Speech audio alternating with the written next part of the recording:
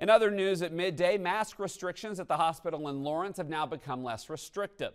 Officials at LMH Health in Lawrence announced today that they continue to adjust policies to reflect the current impact of the virus in the community.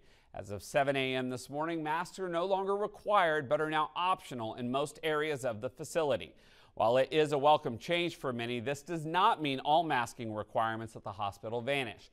Some areas, such as those with immunosuppressed patients and other specified clinical areas, will continue to require masks.